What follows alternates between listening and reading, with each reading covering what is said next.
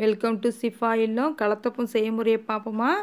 ஒரு கிலோ பச்சரிசியை ஊற வச்சு அரைச்சி கொர கொரப்பாக அரைச்சி எடுத்துக்கலாம். லேசாக கொர கொரப்பாக அரைச்சி எடுத்துக்கலாம். வேர்க்கடலையை தோல் நீக்கி எடுத்துக்குவோம். பயரை வறுத்த பயரை நம்ம அரை மணி நேரம் ஊற வச்சு எடுத்துக்கலாம். தேங்காய் ஒரு தேங்காய் அதை துருவி எடுத்துக்குவோம். அரை கிலோ வெல்லம். அதை நம்ம பாகு காய்ச்சி எடுத்துக்கலாம்.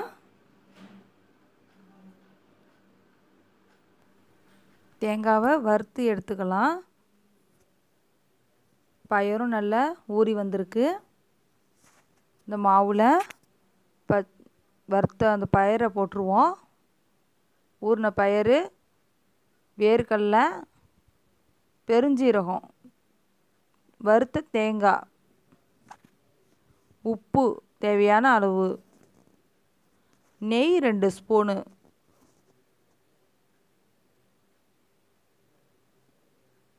அதை அப்படி மிக்ஸ் பண்ணிக்கிட்டு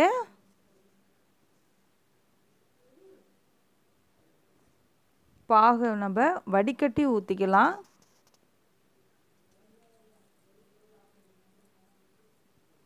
தண்ணியாக இல்லாமல் நம்ம திட்டமான பதத்துக்கு கையில் எடுத்து பார்த்தா ஒட்டாமல் வரணும்.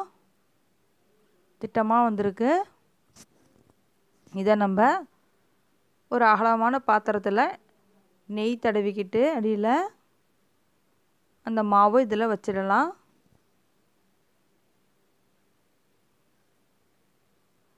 குக்கரில் அடியில் கொஞ்சோண்டு தண்ணி தண்ணி வச்சு இந்த கலத்தப்ப மாவை அதில் வச்சுடுவோம். மூடி போட்டு வேக வைப்போம். அப்போ தான் தண்ணி வடியாமல் இருக்கும் அதில். முக்கால் மணி நேரம் வேக வைக்க வேக வைக்கலாம். நல்லா வெந்து வந்துருக்கான்னு பார்ப்போம். ஆ நல்லா வெந்து வந்திருக்கு. ஒரு ஸ்பூனால் குத்தி பாருங்கள் அந்த ஸ்பூனில் ஒட்டாமல் வருது. கலத்தப்போ ரெடி எங் சேனலை ஃபஸ்ட் டைம் பார்க்குறவங்க சப்ஸ்கிரைபர் பண்ணி பெல் சிம்பிள் அழுத்துங்க. உங்கள் ஃப்ரெண்ட்ஸுங்களுக்கு ஷேர் பண்ணுங்கள்